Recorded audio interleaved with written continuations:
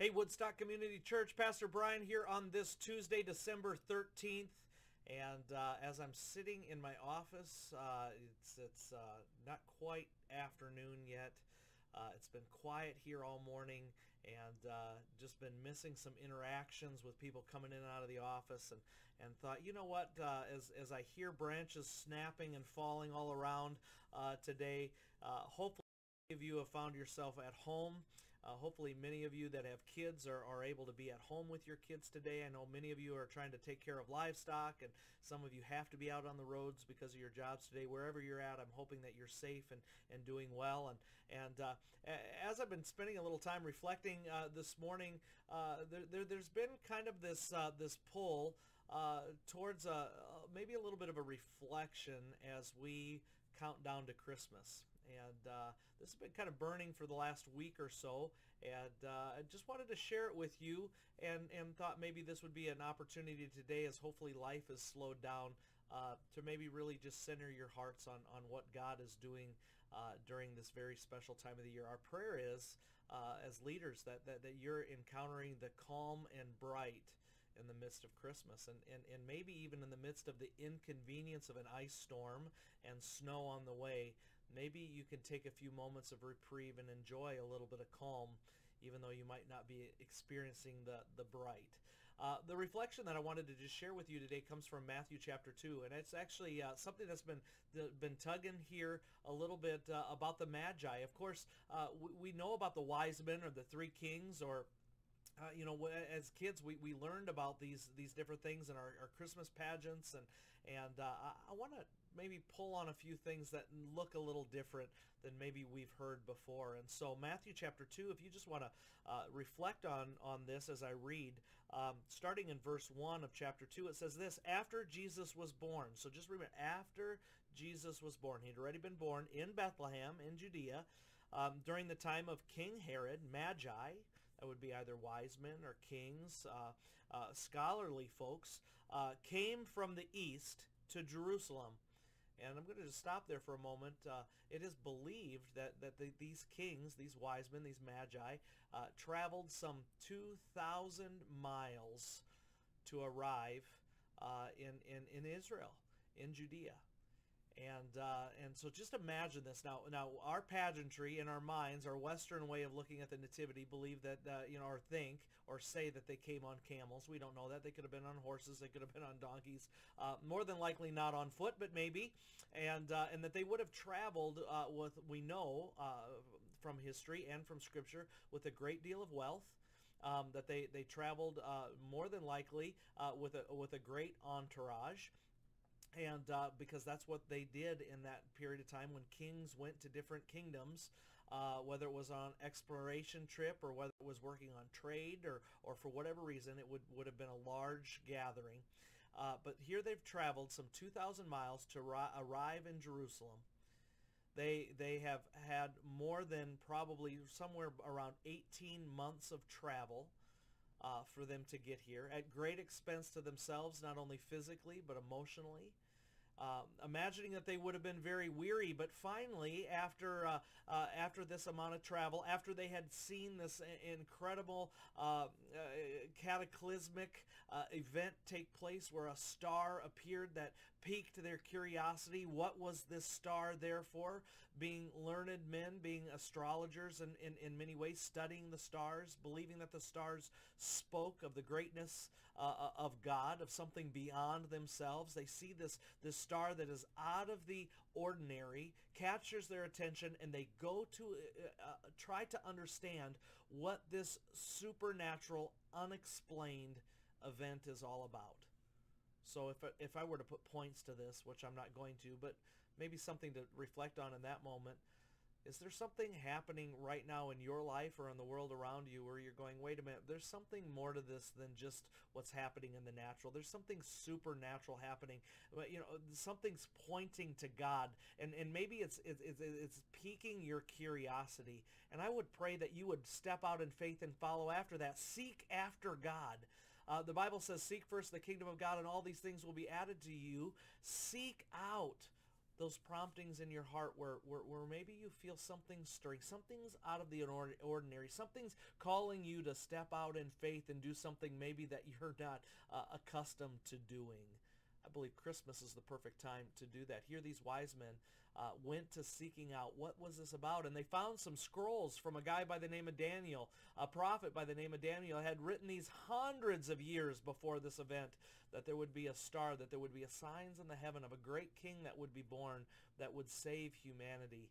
And this was what they were seeking after. Was this truly real? And, and, and, and, and stepped out in faith, being led by this star, which led them over this almost 18-month period, it's believed, uh, to Jerusalem, to the capital city of, of, of Judah.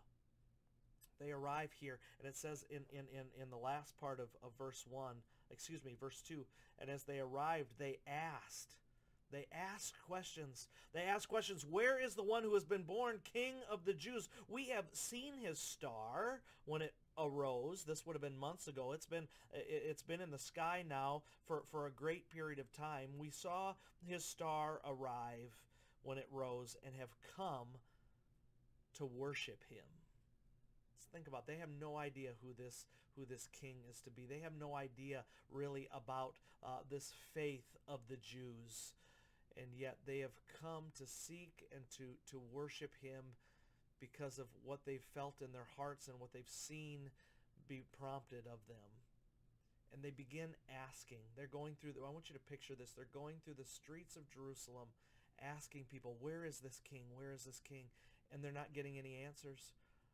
Reminder, Jesus has been born now for quite some time. I mean, he's, he's, he's more than likely a year and a half old, a year to a year and a half old. They arrive, they're asking questions. Nobody seems to know what they're, what, what, what they're talking about. What king? What king are, are, are you? and, and they're, they're going, we're here to worship him. Where's your king? Where's your king? And, and they, they can't seem to find out. And, and so uh, verse 3 says, and when King Herod heard this, he was greatly disturbed. So King Herod receives news. Listen, this, this, parade of the Magi and their entourage entering in Jerusalem, you would not have been able to miss this. This caused quite a stir. Um, and, and as they begin coming in and people are going, what are you here for? They're going, we're here to worship your new king. And they're going, what are you talking about? And and now Herod learns of this and, and so invites them in and they the, uh, the the the kings the magi ask well we're, we're here to worship the new the new baby king. This causes Herod to be very disturbed and it says it was not only him that was disturbed but the people of the kingdom were disturbed as well at this news. Wait a minute why are they disturbed this was pointing to the, to the king that they had long been awaiting for, the Messiah that they had been waiting for and learning about, that they had been going to the synagogues or what we would refer to as church. They'd been learning about this Messiah coming for, for now centuries. This had been foretold already in the time of Abraham, and, and, and yet they have somehow missed it. And even as they, they see all of this happening around them, they're still missing the fact that a king has been born to them, and they don't even know who he is or where he is. Maybe, maybe that's your experience. Maybe even now at Christmas time, you're going, wait a minute. I see all these people get excited, but I've not encountered him. I, I don't even know what they're talking about.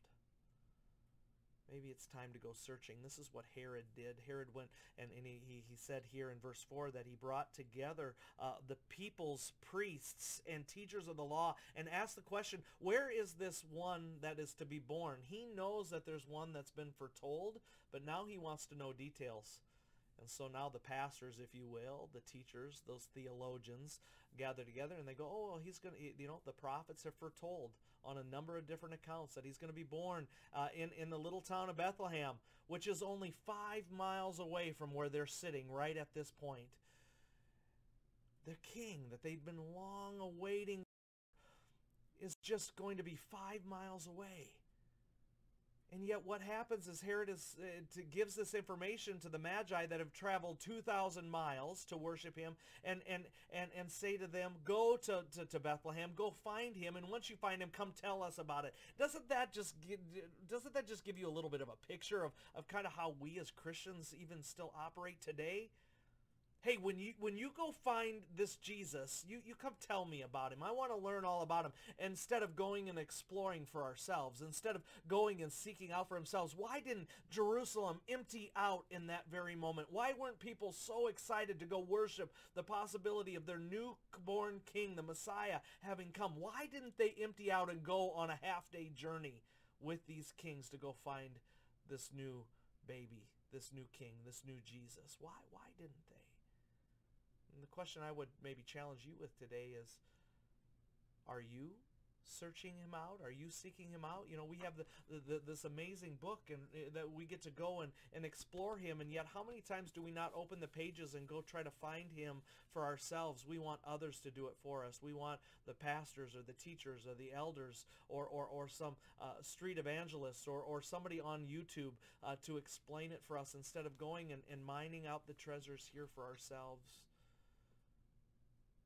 I wonder as you anticipate the, our next uh, several weeks of worshiping together as we go to, to Christmas, if, if, if maybe we could grab a hold of the spirit that the kings carried with them, this one of faith and wonderment, of, of, of finding this new king and wanting to worship him, coming with their gifts and treasures. I wonder if we started thinking like those kings of going, I'm going to step out in faith. I'm going to go be very active in finding him out together with our church body, with, with brothers and sisters of like-mindedness, and let's, let's go seek him out. Let's go worship him because he's worthy. I wonder what that would look like if we came with a, uh, during this season with a, a, a spirit of expectation of finding him when we come to worship. One, one maybe final thought to think about beyond ourselves.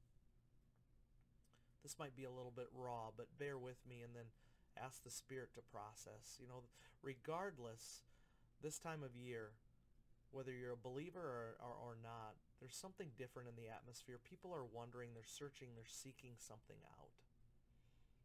I know that there's a season of generosity. People act differently towards one another. There's almost this open invitation of inviting people over and and uh, and, and a deeper level of fellowshipping and maybe loving on mankind. And and yet for those that don't know Christ, there is this time of year always that question of what is Christmas all about? And we know it's not about Santa, and we know it's not just about gifts, and, and we know it's not about snowmen, and we know it's not just a, a, a you know about uh, all the things that we've made Christmas about, but it's about it's about a King who came to earth to save us and rescue us.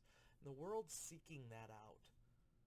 And I think that there's an open spirit in our in, in, in our culture even at this point of time and in, in, in this time of year where people are going, man, you know what, I think we can find that king. We can find that answer in the church.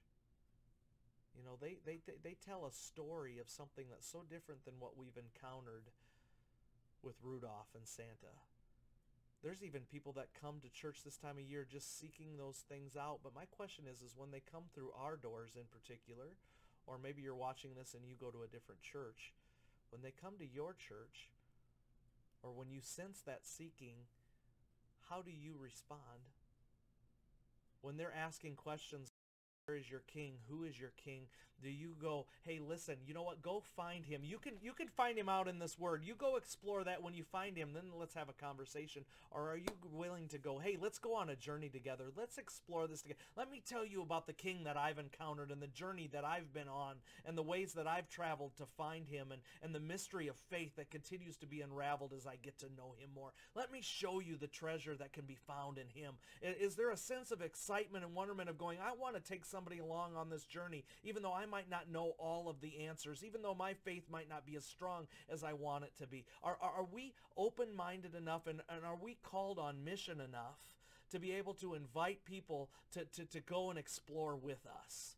that when they come to church on, on maybe Christmas uh, Eve or when they come this maybe this next Sunday the, the 18th as we have a number of special things that point to Christmas coming up uh, great opportunity to invite are, are we are we excited? You know, here the kings came and they're asking questions in the streets and they're going to the palace courts and they're asking these questions and, and here they're finding people who aren't excited to worship but really more subdued, laid back, not excited even at the, the prospect that the Messiah has come. In fact, they're disturbed by it. What will an outsider encounter if they come to Woodstock Community Church this Sunday or Christmas Eve or in the weeks to come? What will they encounter as they search for the King? Will they encounter a bunch of people that are excited to worship? Full of energy to worship a God that's a king who's so much bigger than themselves, bigger than we are, bigger than our minds can even process or, or handle, the one that has the answers to our brokenness, the one that's come to rescue. Do we come excited and are we willing to share that excitement? My, my prayer is, is uh, I know this has gotten long. I hope you've been able to hold tight through this, that, that, that you'd look at those scriptures of the Magi and go, you know, how can we follow in their footsteps? How can we be sharing the good news of a king that's been born? And, and, and isn't it amazing that the ones that traveled the furthest were the ones that encountered the king? But those that were just a few miles away, those that were so close, those that had heard the truth their whole life and had been told to look for it, missed it. May we not miss it. And may those that come searching and seeking this time of year and all year long, may we not miss helping them find as we go on this expedition together. Church family, we have a huge opportunity these next few weeks and in the weeks to come to be able to make an impact in our community and those that are searching and seeking.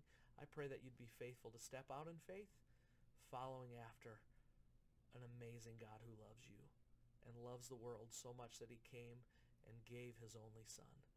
Let's tell the world that good news. Have a great day. Enjoy, enjoy this time of calm and bright. In Jesus' name.